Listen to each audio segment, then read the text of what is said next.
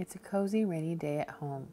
Time for baking and cooking in my kitchen, reading and watching a cozy show, harvesting homegrown food from the garden, and enjoying the slow rhythm of home life.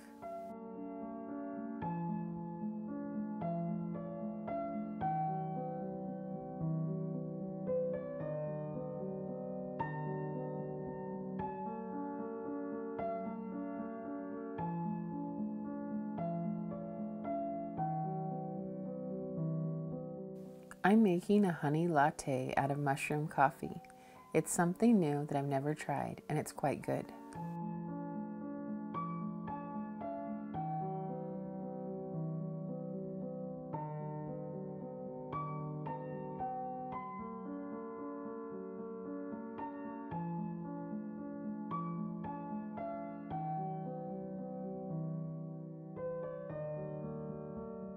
My family usually eats eggs of some kind or oatmeal for breakfast.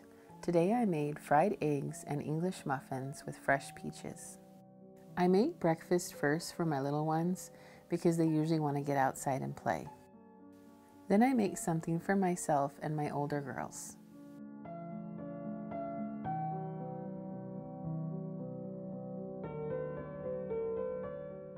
I like to sit by the window in the morning light and look outside while I eat.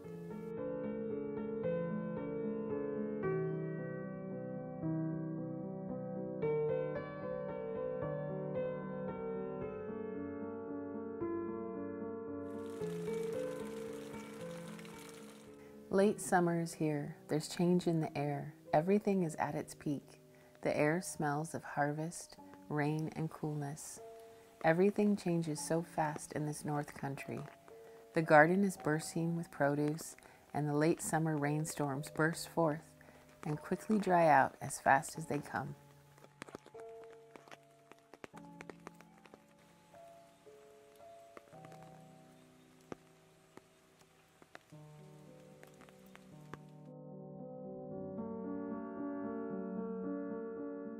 I like to cook up meat in the crock pot for the week ahead to use it in my meal prep. So I'm putting in a few pieces of beef to cook so we can have shredded beef tacos later in the week. I'm often doing little preps like this throughout the day to help my kitchen run smoothly all week.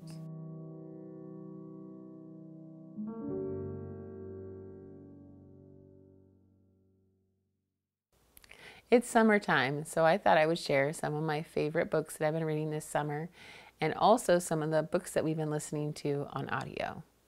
We love listening to books on audio, and I really love having that for the little kids because it's a nice thing that you can just do when it, they're hot and they're tired. I like to lay out a blanket on the floor and have them get their pillows and stuffed animals, and we just turn the audio on, and it's just a time to kind of be quiet and relax and just cool down after being outside usually all morning.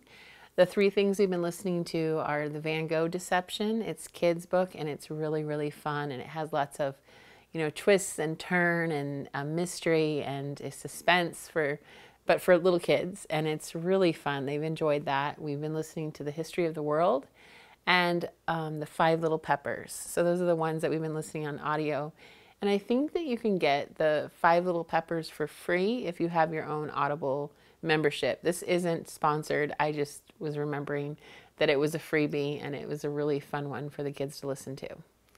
I've been reading this summer this great series right here that I borrowed from my friend. I read these back when I was a teenager and I got them from her Little House, The Rocky Ridge Years.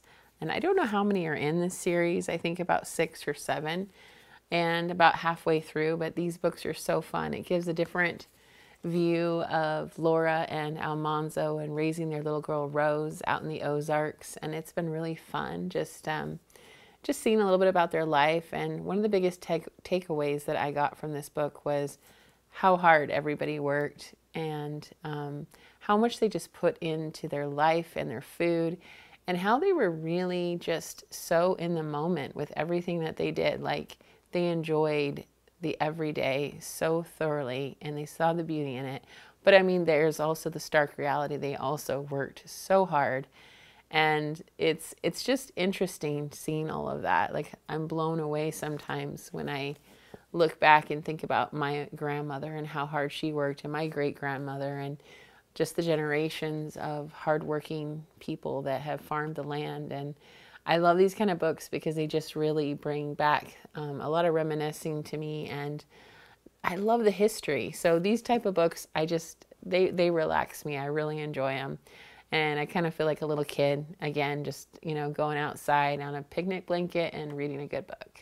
I've been really enjoying the Rocky Ridge Little House on the Prairie series, but I also enjoy a good mystery and The Secret at the Hermitage by Carolyn Keene, who is the author of the Nancy Drew books. This is really, really fun to have these vintage books. I love the old drawings in the inside of these books. But this is actually the Dana Girl Mystery Stories by the same author that wrote Nancy Drew. And whenever I find any of these old books, I just pick them up because they're fun and I feel like a little kid again getting an old mystery book to read when it's hot outside and you want to just curl up on the couch or outside by, you know, the creek or going out and just laying out in the sun. These are really, really good books to read. I found this old classic and I was really happy because I love Ruth Stout, the No Work Garden book, and it's a nice vintage classic on the whole layering method, you know, layering straw and hay for your garden. And this is a great book. It's so fun to find these vintage ones. So if you're out thrift shopping or yard selling, definitely look for these old vintage books like this good. It's so fun just when you're looking for a garden book and you find one for like 50 cents or a good old mystery. So definitely keep your eyes open for books like this when you're out thrifting or yard selling. One thing I really love about Ruth Stout is she really thinks outside of the box when it comes to gardening.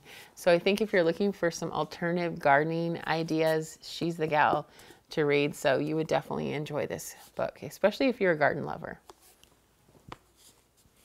And my last book, I don't have a big pile here. I have just been enjoying these books, but I love this summer book by Susan Branch. It is amazing. The pictures, the recipes, the little stories. This is just summer in a book. It's so delightful and so whimsical. Right here, she has the anatomy of a cheeseburger and fresh fish tacos. I mean, they just inspire me to start cooking delicious things for our summer food. And you know, it's really funny. We've talked about this before, but this is a used book, and I was flipping through it, and I found a recipe again. You guys know how much fun I love finding a recipe. And it says 1999 Oregon State Fair, the most wonderful brownies ever. So there's a recipe for these in here. And there's actually the owner of this book bought this book in 1996. So it's so fun having little things like this and having recipes tucked into cookbooks. So I keep them in and sometimes I even try them out because it's just fun knowing that somebody liked that recipe enough that they stuck it in their cookbook. This isn't just a cookbook, it's really an idea book. She shows about um, building a kitchen garden and how to put in your raised beds and what kind of herbs to choose. She has a whole area of favorite herbs that she likes to grow.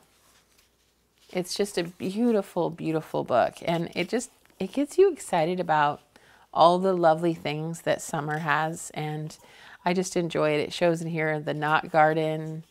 It shows fragrant flowers to grow. She has a thing on camping, lots of recipes, appetizer ideas. I have just enjoyed this book so much just for summer.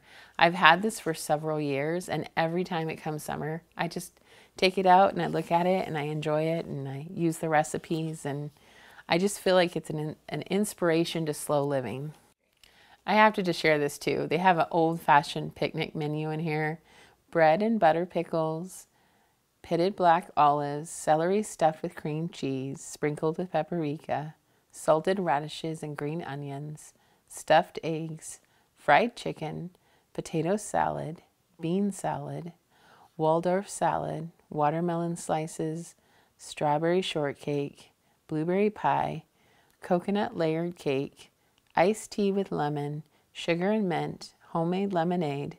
Bring along a jar of water for just picked wildflowers, and the pictures are just adorable.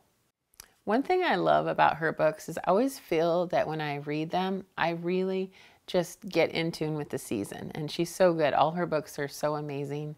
She has like winter ones and Christmas ones and all different books, but they just really get you in the mood for the season that you're at. And for me right now, it's been good because summertime has not always been my favorite. I've been asked that before what is your favorite season? And I used to not like summer as much because it was hot and not as cozy as the other seasons. But over the years, I've actually really, really fallen in love with summer. And I think it can be just as cozy. And now we're at the end of summer and you feel like that smell of fall in the air. And on rainy days, it feels even closer. But I'm actually trying to just savor even these last few weeks of summer because it's just special. Like we have such long winters where we live that I really, really like to savor this time and enjoy being out in the sun, going swimming, just cooking really good light fare for breakfast and for picnic. It's just fun to slow down and really enjoy summertime.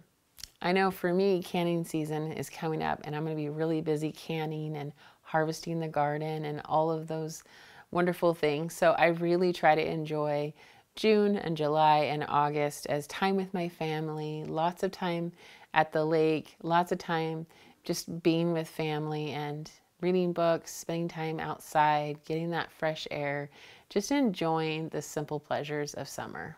So I don't have a huge pile of books here, but I've really been enjoying the ones that I've been looking at this summer. And I would love to hear what you guys are reading. I always love your suggestions. I always go on the computer and check them out. So definitely leave a comment below telling me what you're reading this summer.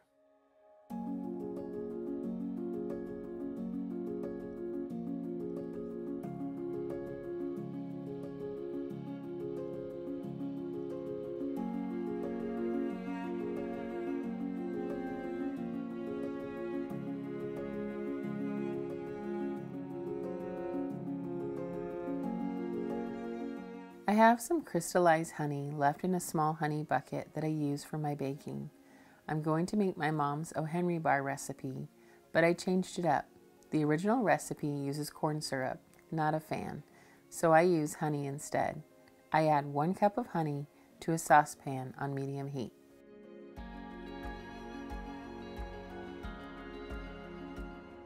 To that, I'm going to add one cup of peanut butter. My peanut butter was super clumpy today.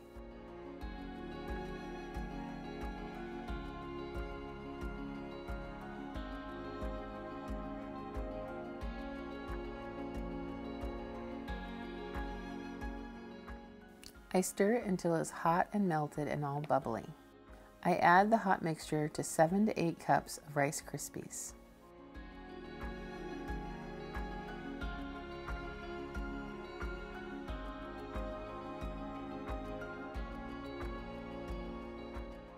You're going to want to stir this mixture up really good.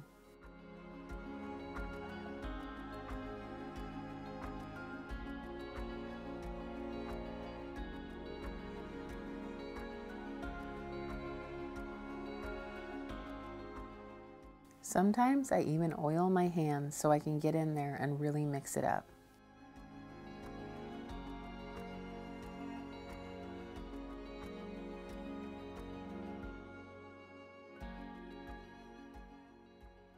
Pat down into a large 9 by 13 pan.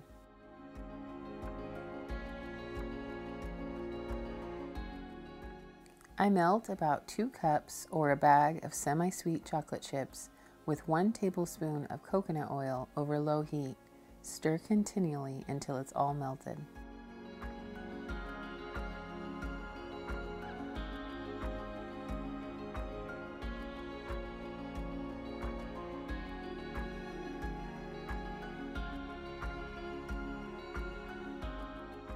Pour the melted chocolate onto the Rice Krispie mixture and spread out evenly.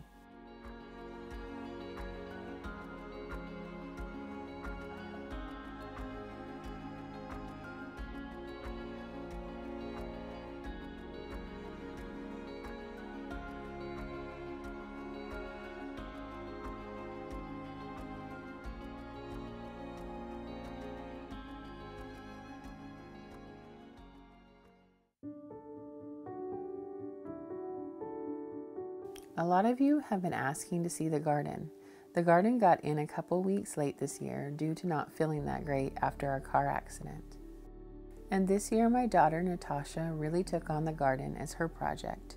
She's been my garden buddy for several years now, but this year I've been blown away with how much she put into this garden.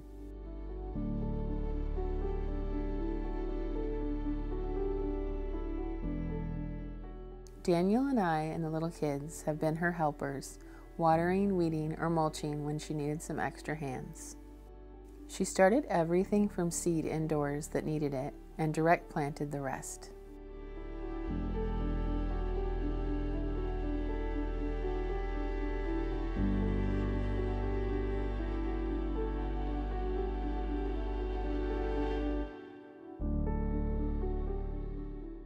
Have a short season up here in the North Country, yet we get a good harvest. I really find it relaxing to go out into the garden and harvest food. It's such a special time.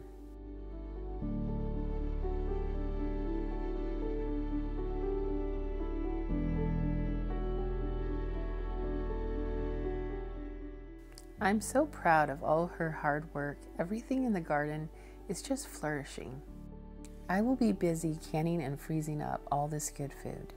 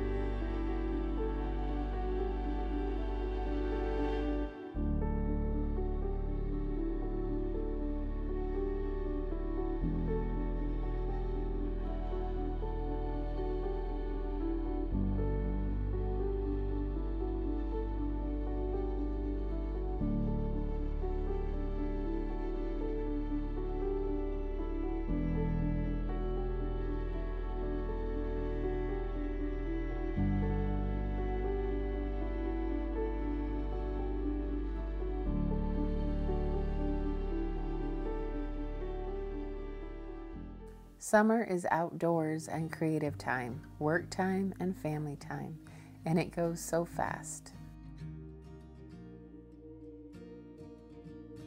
My kids love digging in the clay hole and making mud pies and mud pottery.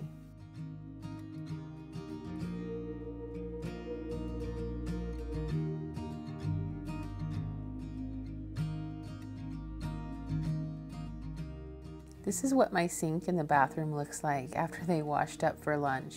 So yes, there are messes that come with creativity, but I wouldn't have it any other way, and in the end, it all cleans up.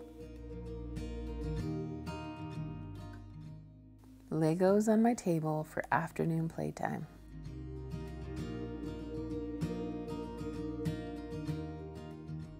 Now my daughter and I need a coffee treat, so I'm going to make my granny's cocoa sauce and I'm going to link that recipe for you in the comment and in the description box. I love making my own chocolate syrup because I know everything that's in it and it's so economical.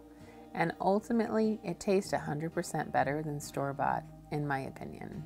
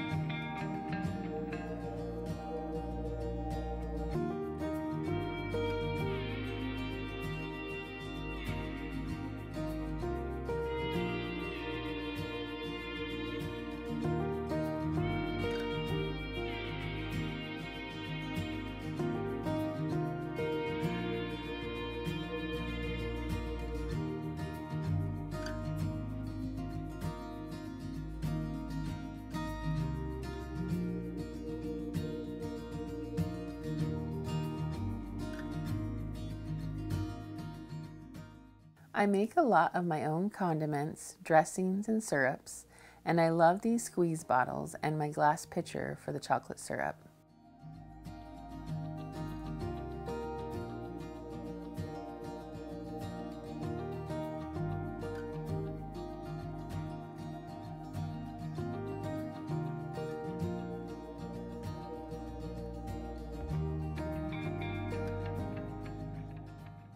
Now for a homemade mocha frap. This is my own made up version, but a couple years ago I had one in a coffee shop and it was really good. I asked the owner what she did and she said she put a scoop of vanilla ice cream in it for the extra creaminess. Wow, it was like a coffee milkshake. Such a fun summertime treat.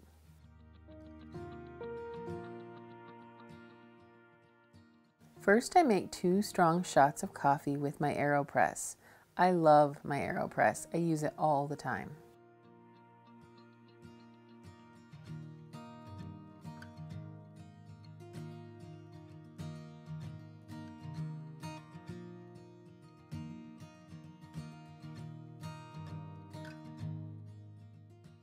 I add a scoop of vanilla ice cream.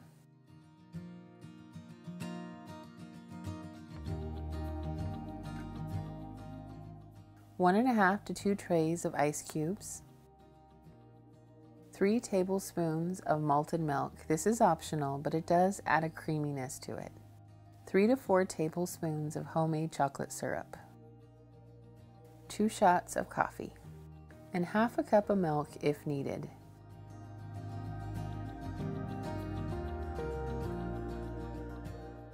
This recipe makes two large drinks. I like to add a chocolate drizzle inside of the cup for just a little extra flourish.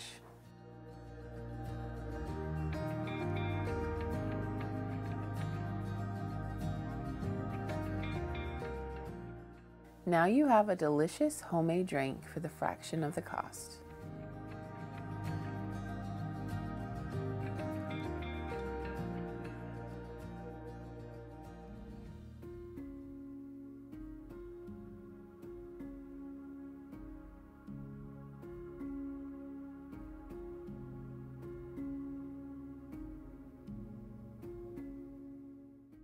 I like to make a coffee and read or watch something with my daughters in the afternoon. It's just a nice time to hang out together.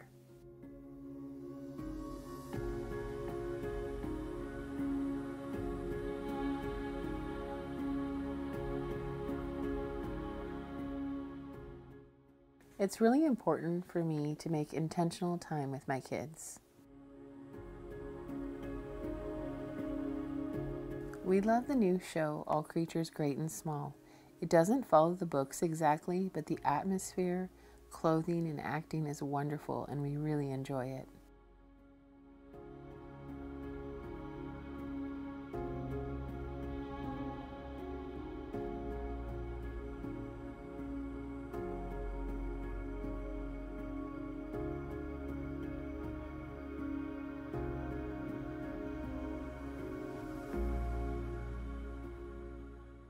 It's almost dinner time and I have pizza dough rising.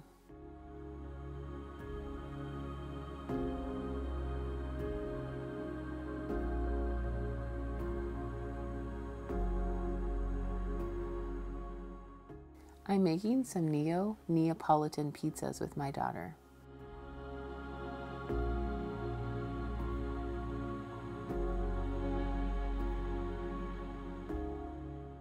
I've been cooking with my daughter since she was a little girl. I've said this before, but bring your children into your space. Invite them in to cook and garden with you, to be by your side learning with you. You'll be amazed at how capable and creative children are.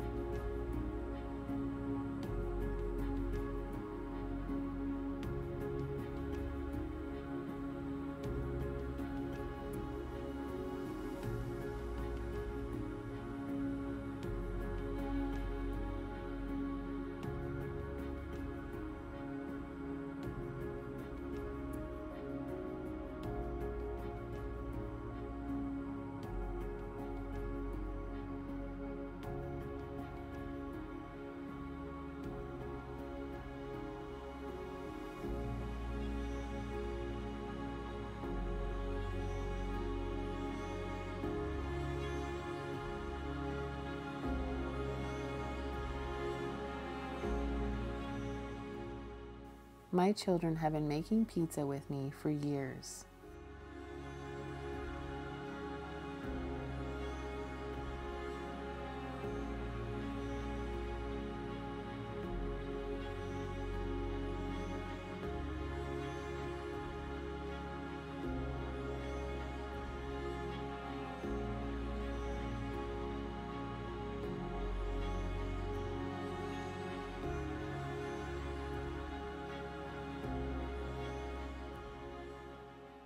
Pizza is a tradition in our home. Friday nights are pizza nights. I haven't told anyone yet, but this summer, on my husband's days off, we've been filming a pizza course.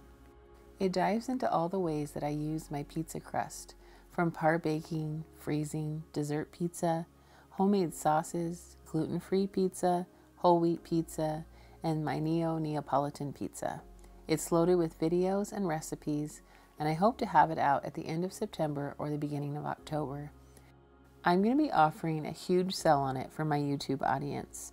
So if you want a discount code, click on the link in the description box and sign up with your email so you can be notified when we launch our course and the sales code. I'm excited for you to take your love for pizza to the next level with our homemade pizza course.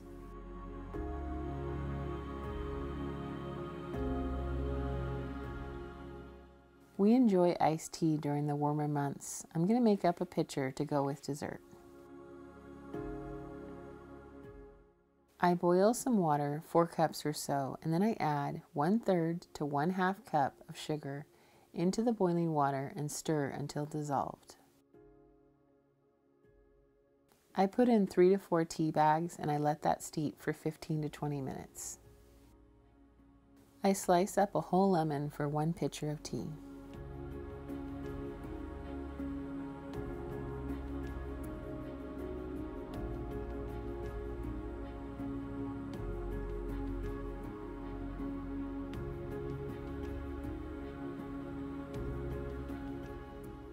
Take the steep tea and add it to a pitcher with cold water.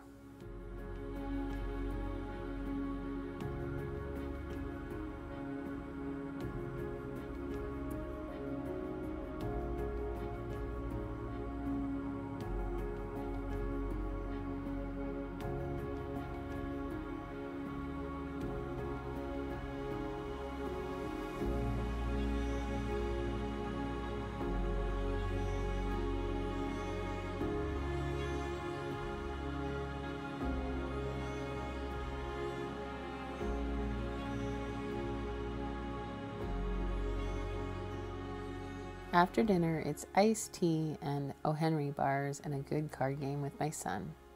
But recently, I heard playing cards and games lowers stress levels, increases endorphins, aka happy hormones, which makes total sense. We usually play a game every day. Seriously, I think they are so good for little brains, boosting memory skills, math, logical reasoning, and critical thinking. We also use games as an alternative to screen time, and it's a great way to end the day.